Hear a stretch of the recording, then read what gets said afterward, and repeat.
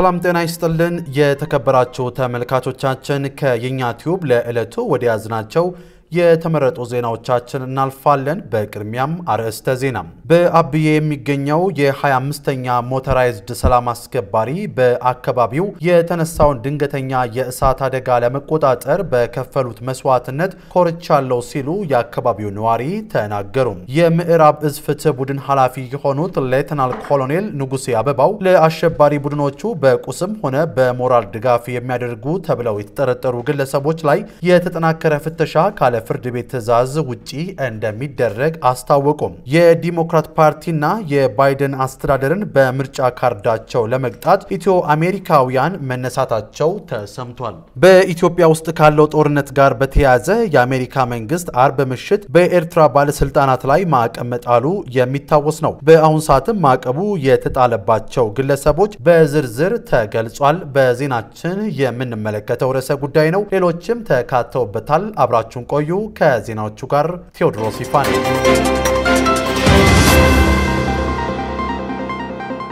ኢትዮ አሜሪካውያን በቨርጂኒያ የባይደንን አስተዳደር በምርጫ ካርዳቸው ለመቅጣት ወደ ተግባር ገብቷል ተባለ። የዲሞክራት ፓርቲና የባይደን አስተዳደርን በምርጫ ካርዳቸው ለመቅጣት በቨርጂኒያ የሚገኙ ኢትዮ አሜሪካውያን ወደ ተግባር ገብቷልም ተብሏል። በኢትዮጵያ ውስጣዊ ጉዳይ ጣልቃ በመግባትና አላስፈላጊ ጫና በማድረስ ላይ የሚገኘውን የዲሞክራት ፓርቲ ፖሊሲና የጆ ባይደን አስተዳደር የተሳሳተ አካሄድ በመቃወም ኢትዮ አሜሪካውያን በሰፊው የተንቀሳቀሱ መሆኑን ዋሽንግተን ፖስት ይዞ ባወጣው ሰፊ ሀተታ አመላክቷል። ቨርጂኒያ ከ30 ሺህ በላይ ኢትዮ አሜሪካውያን የሚኖሩባት ከአሜሪካ ታላቅ ግዛቶች አንዷ ስትሆን በመላው አሜሪካ ከሚኖሩ ስምንት ኢትዮ አሜሪካውያን መካከል አንዱ በቨርጂኒያ እንደሚኖርም ከአሜሪካ የስደተኞች ፖሊሲ ኢንስቲትዩት የተገኘው መረጃ ያመላክታል።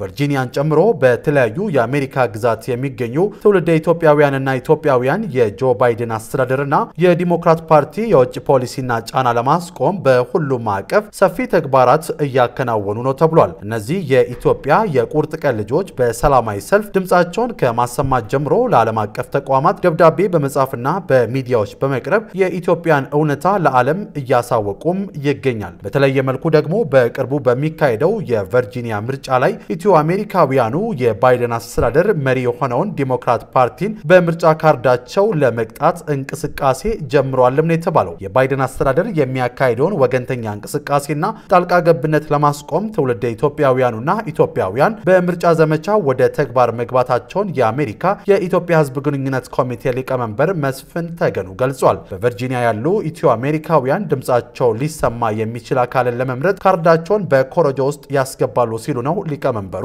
የገለጹት። በማህበራዊ ሚዲያና የግዛቷ ነዋሪዎችን አድራሻ በማፈላለግ ለእያንዳንዱ ግለሰብ ቅስቀሳ መካሄዱን ጠቁመው የሪፐብሊካን እጩ የሆኑት ግሌን ያንግኪን ለመምረጥ መዘጋጀታቸውን አመላክቷል። የኢትዮጵያን ድምፅ ከዚህ ቀደም የሪፐብሊካኖቹ በአንዳንድ አካባቢዎች ያላገኙትን ድምፅ በማሳደግ በግዛቷ ላይ አሸናፊ ሊያደርጋቸው እንደሚችል ዋሽንግተን ፖስት አትቷል። ለዘገባው አስተያየታቸውን ከሰጡት ኢትዮ አሜሪካውያን ብርቱ ባዮ ዲሞክራት እንዲያሸነፉ ኢትዮጵያውያን ከፍተኛ ሚና ነበራቸው።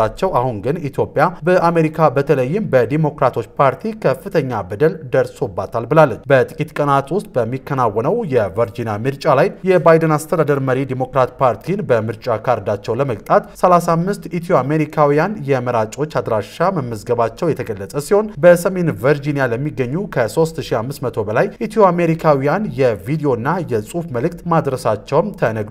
የቨርጂኒያው ምርጫ ውጤት ምንም እንኳን የሙሉ አሜሪካን አካሄድ ባይቀይርም ዲሞክራቶች ድምፃችንን እንዲሰሙና የፖሊሲ ለውጥ እንዲያደርጉ ተጽዕኖ ይፈጥራል ሲልም ያስገነዘበው ደግሞ የእንቅስቃሴው አስተባባሪ ኤልያስ ህሮይ ነው። ይህ የአንድ ግዛት ብቻ አጀንዳ አይደለም፣ ትስስሩ ረጅም ነው። የዲሞክራቱ እጩ ቴሪ ማግሊፍኒን በምርጫ ካርዳችን በመቅጣት በፖሊሲያችን ላይ ያለንን ተቃውሞ ከፍ አድርገን እናሳያለን ብሏል። በቨርጂኒያው ምርጫ በቅርቡ የምረጡኝና የቀጣይ አቅጣጫ ንግግር ያደረጉት የዲሞክራሱ እጩ ቴሪ ማክላፊን አንድም ቦታ ከኢትዮጵያ ጋር ስለሚኖራቸው ግንኙነት አላነሱም ነበር። በአንጻሩ የሪፐብሊካን እጩ የሆኑት ግሌን ያንግኪን ከኢትዮጵያ ጋር የሚኖረን ግንኙነት በቡና ቅመማ ቅመሞች፣ ሹራብ፣ በኤሌክትሪክ ማሽኖችና በሌሎች የንግድ ዘርፎች እናጠናክራለን ብሏል። ዘገባው የኢትዮጵያ ዜና አገልግሎት ነው።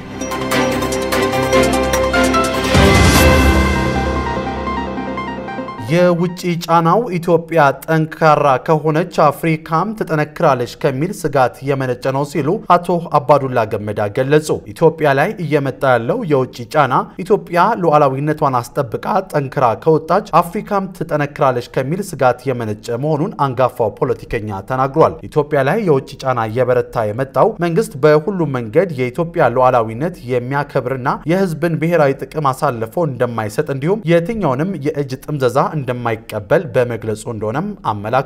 ኢትዮጵያ ሉዓላዊነቷን አስጠብቃ ጠንክራ ከወጣች አፍሪካም ትጠነክራለች የሚል ስጋት ስላላቸው ጫና ለማሳደር እየተረባረቡ ነው ማለታቸውን ኢፕድ ዘግቧል። እንደ ፖለቲከኛው ገለጻ ያለፉት መንግስታት አባይን የማልማት ፍላጎቱ ቢኖራቸውም አቅም ስላልነበረንና የትኛውም ሀገር ብድር እንዳያበድርና እንዳይደግፍ በመደረጉ በየኛ ውሃ ሌሎች እየተጠቀሙ ኢትዮጵያውያን ያለንን የተፈጥሮ ሀብት ሳንጠብቅ በድህነትና በጨለማ ውስጥ እንድንኖር ዳርጎናልን ብለዋል።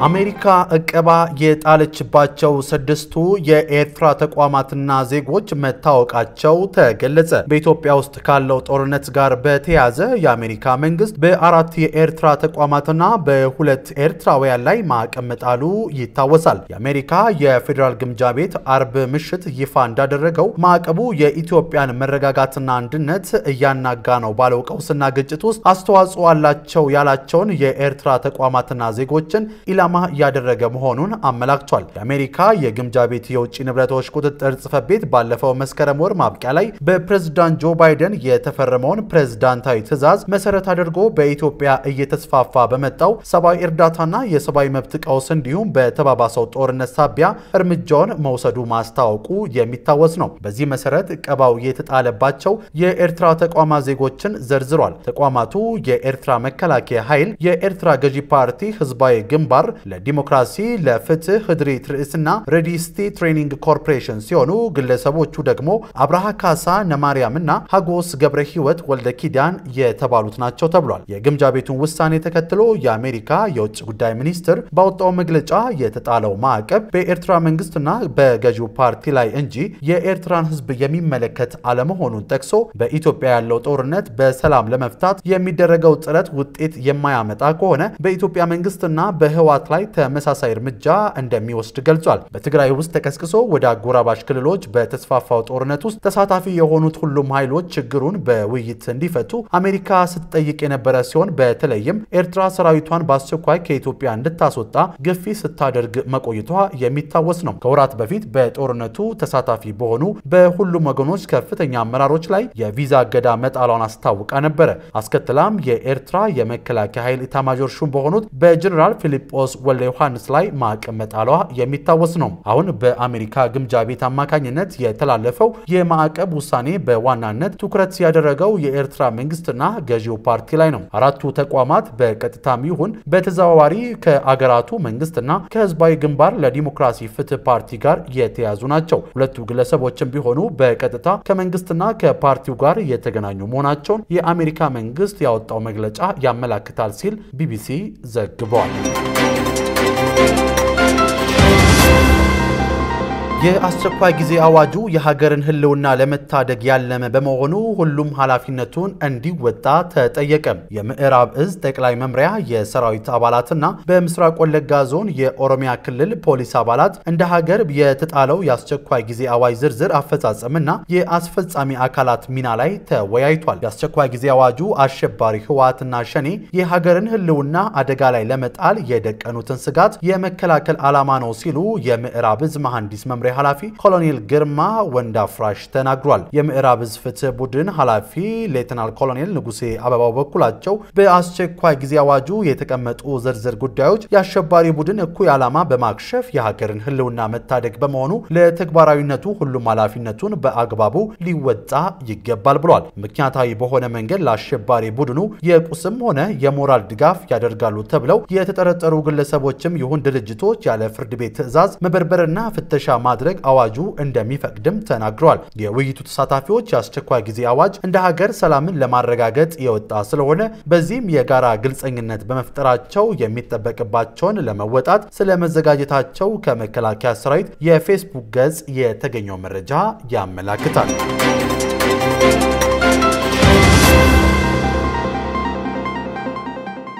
በአብዬ የሚገኘው የ25ኛ ሞተራይዝድ ሰላም አስከባሪ ሻለቃ የሰራዊት አባላት በአካባቢያቸው የተነሳውን እሳት በማጥፋት ህዝባዊ ወገንተኝነት የሚያረጋግጥ ተግባር ማከናወናቸው ተገለጸ። የሻለቃው ዘመቻ ክፍል ኃላፊ ሻለቃ ይብራ ገብረ እግዚአብሔር በነይነይ የመኖሪያ ሰፈር በተነሳው የእሳት ቃጠሎ አደጋ ውሃ በቦቴ በመያዝና ሰራዊቱን በማሰማራት ባደረጉት ከፍተኛ ርብርብ የተነሳው እሳት በሰውም ሆነ በንብረት ላይ ምንም አይነት ጉዳት ሳያደርስ መቆጣጠር ተችሏልም ተብሏል። የነይኒ መንደር ነዋሪ የሆኑት አቶ አኬስ አታክ እንደገለጹት የእሳቱ አደጋ የተከሰተው ከእኩለ ቀን ላይ ከፍተኛ ንፋስ ባለፈበት ሰዓት በመሆኑ በጣም ተደናግጠንና ግራ ተጋብተን ባለንበት ሁኔታ ሰራዊቱ በድንገት ቦታው ላይ ደርሶ ለራሱ ሳይሳሳ እየዘለለ እሳት ውስጥ እየገባ ሲያጠፋና እኛን ለማዳን ሲሯሯጥ በማየቴ በሰራዊቱ እጅግ ኮርቻለሁ። በመንደሩ ነዋሪ ስም ምስጋናዬን አቀርባለሁ ብሏል። ዘገባው የኤፌድሪ መከላከያ ሰራዊት ነው።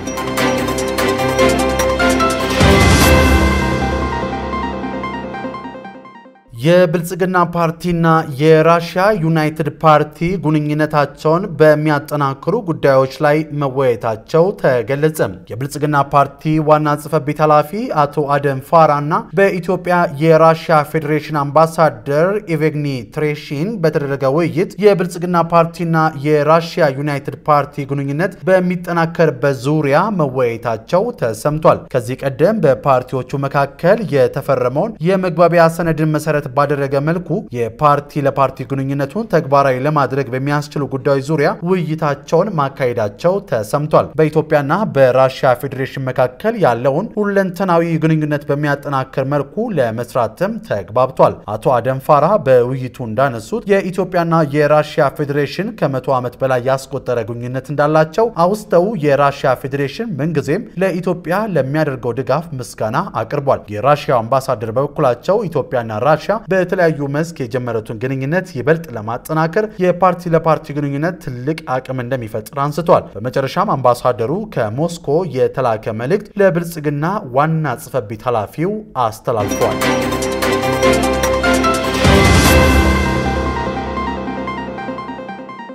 በመጨረሻም የውጭ ዜና።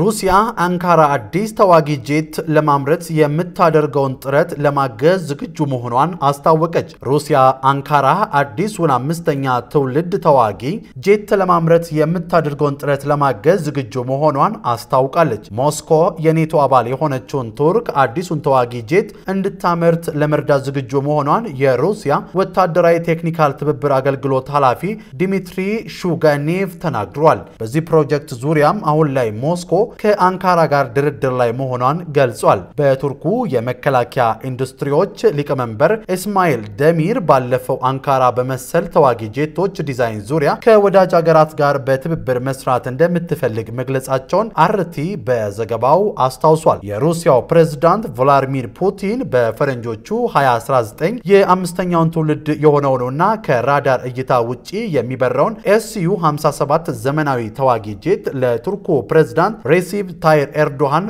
ማሳየታቸው የሚታወስ ነው።